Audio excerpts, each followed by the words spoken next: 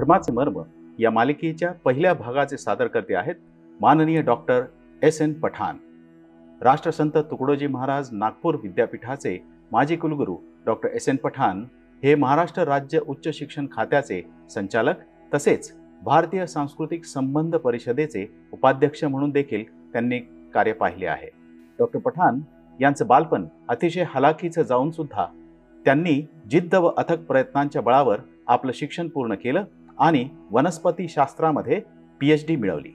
स्वतः इस्लाम धर्मीय असून सुद्धा इतर सर्व धर्मांबद्दल आस्था राखणारे डॉक्टर पठाण हे एक उत्तम लेखक आणि वक्ता म्हणून प्रसिद्ध आहेत. मित्रों नमस्कार.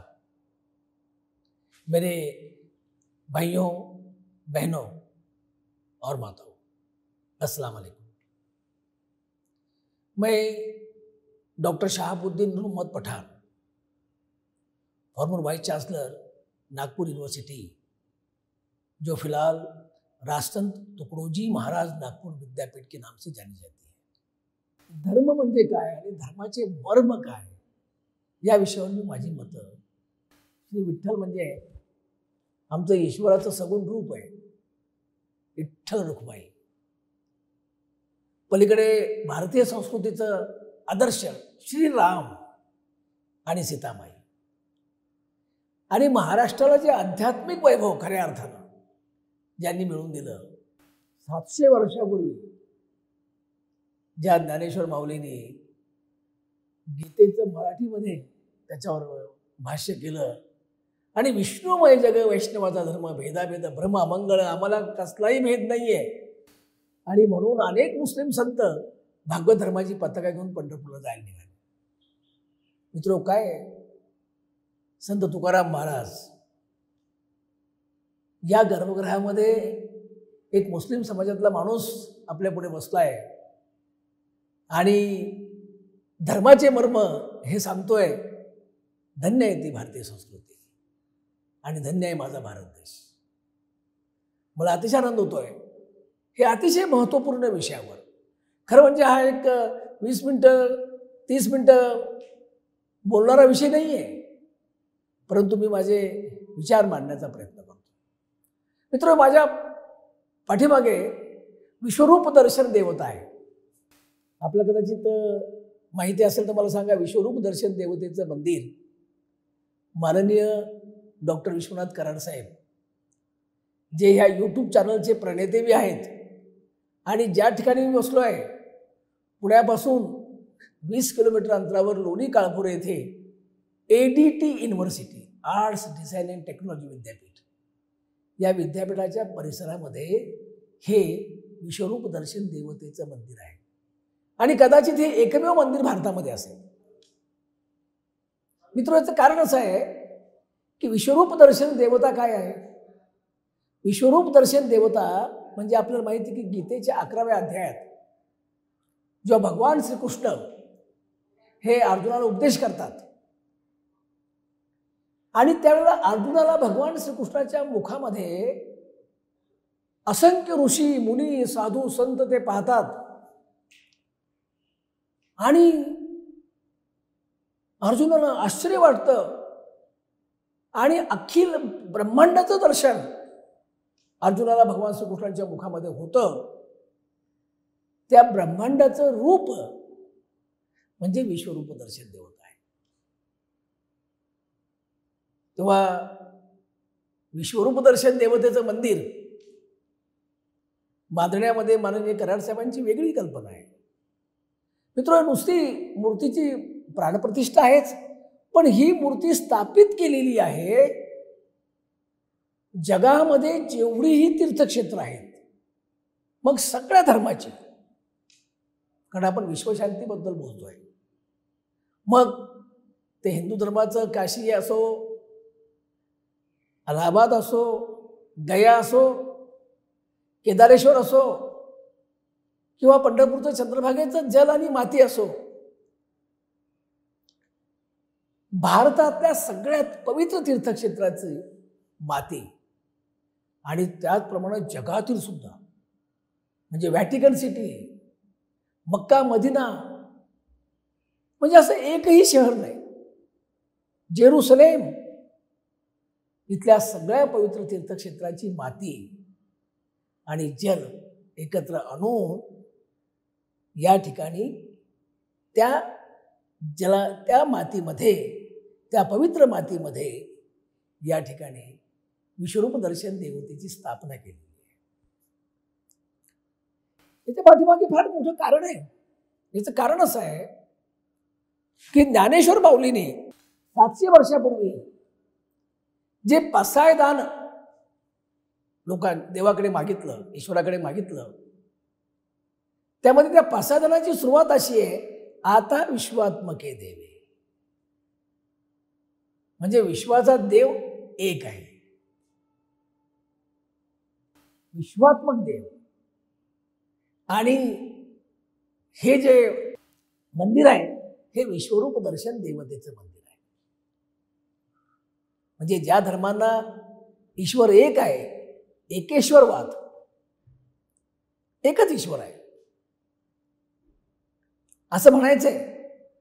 तोच तेच सूत्र माऊलीने आता विश्वात्मके देवे अशा पद्धतीने लोकांच्या पुढे मांडलेलं आहे. येणे आता विश्वात्मके देवे येणे वागिज्ञ तोषावे दोषो निमज द्यावे पसायदा नाही आणि म्हणून या ठिकाणी एखाद्या शिक्षण संस्थेमध्ये सर्व जाती धर्मातील लोक मुलं शिकत असतात.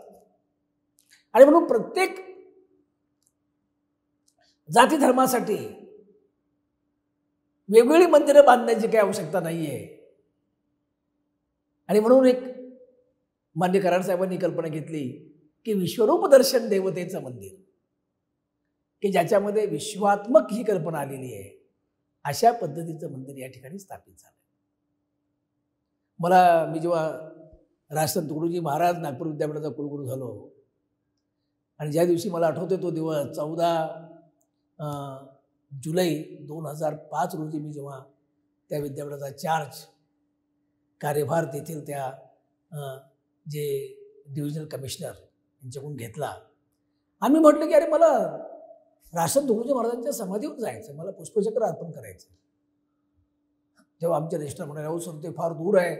नागपूरपासून जवळजवळ दोनशे किलोमीटर ते अमरावतीला गुरुकुज आश्रमामध्ये आपल्याला जावं लागेल तिकडे. मी म्हटलं किती दूर असो जाण्याची तयारी करा. आणि मित्र जेव्हा मी गुरुकुज आश्रमात पोहोचतोय तेव्हा तिथे मी जे मंदिर पाहिलं अनेक लोक तिथे अर्थात उपस्थित होते. कुलगुरूंच्या स्वागतासाठी कारण ते विद्यापीठ राष्ट्रसंतांचं नावाने जेव्हा विद्यापीठ सुरू झालं त्या विद्यापीठाचा मी पहिला कुलगुरू आहे. आणि मी समोर मंदिरावर पाहिलं आवो कोई धर्मी आवो कोई पंथी सबके लिए खुला ये मंदिर हमारा मतभेद को भुलाए मंदिर हमारा देशी विदेशियों का मंदिर हमारा। आणि खरं म्हणजे मित्र तिथे माझ्यामध्ये ह्या विश्वात्मक देवाच्या खऱ्या संकल्पना स्फोरलेल्या आहेत. ते स्फुरण एका सुबुद्ध माणसाचं. आणि राष्ट्रपती तुकडोजी महाराजांनी मानवतेचं मंदिर निर्माण केलं. तिथे त्यांनी कुठली मूर्तीची स्थापना केलेली नाही पण त्यांनी सगळ्या प्रकारचे साधू संत त्या ठिकाणी त्यांनी लोकांना दिसावे अशा पद्धतीने लावलेत. आणि सांगितलं की हे मानवतेचं मंदिर आहे. आणि पुढे असं राष्ट्रसंतांचं ते भजन आहे. अप अप्रतिम. या भारतात बंधुभाव नित्य वसुदे देवरची असा दे हे सर्व धर्मपंथ एक दिसू दे मतभेद नसू दे ना दोत गरीब अमीर एक मतानी मग हिंदू असो ख्रिश्चन वा हो इस्लामी. ह्या भारतातल्या सगळ्या जाती जमातीच्या सगळ्या धर्माच्या लोकांनी सुखी व्हावं. ही प्रार्थना म्हणजे ज्ञानेश्वर माऊलींनी गायलेलं पसायदान सातशे वर्षापूर्वी. मागितलेलं पसायदान देवाकडे. आणि राष्ट्रसंतांनी की या भारतातील हे सगळे धर्मातील लोक गुण्यागोविंदाने राहावं. मित्रो ह्या गोष्टी पाहिल्यानंतर आपल्याला आपल्या संत परंपरेचा अभिमान वाटावा. अशा पद्धतीचं हे सर्व कार्य. या ठिकाणी माननीय डॉक्टर विश्वनाथ कराड साहेब यांच्या पुढाकाराने इथं सुरू झालं. आणि आज मी माझं स्वतःचं भाग्य समजतो की ह्या गर्भगृहामध्ये जिथे एकीकडे म्हणजे आम्ही अखिल मानवतेचं दैवत म्हणतो त्यांना. श्री विठ्ठल. श्री विठ्ठल म्हणजे ईश्वराचं सगुण रूप आहे ते. इकडे भारतीय संस्कृतीचा आदर्श श्रीराम आणि सीतामाई. ज्ञानदेवे रचिला पाया उभारिले देवालया आणि तुका झालासे कळस. म्हणजे तुकाराम महाराजांनी कळस केला. मित्र आपल्याला अभिमान वाटला पाहिजे आपल्या संस्कृतीचा. मला याची जाणीव आहे की या भारतावर शेकडो वर्ष जे परक्यांनी राज्य केलं मोगलांनी आक्रमणं केली ब्रिटिशांनी तोडो फोडो झोडा या नीतीप्रमाणे राज्य केलं आणि त्यामध्ये भारतीय माणूस आपली अस्मिता मित्र हा गमावून बसलेला आहे. आणि मग त्याला असं वाटतं की जे पाश्चिमात्यमध्ये पाश्चिमात्य देशामध्ये जे घडतंय तेच योग्य आहे तेच उत्तम आहे. आणि त्याचं अनुकरण करण्याचं अंधानुकरण करण्याची फार मोठी स्पर्धा हा दुर्दैवाने आमच्या तरुणांच्या मध्ये दिसते. आणि म्हणून विश्वशांती दर्शन हे जे यूट्यूब चॅनल आहे मला असं वाटतं तो उद्देशच आहे की भारतीय संस्कृतीची अस्मिता म्हणजे आमच्या मनावर जे आलेलं शेवाळ आहे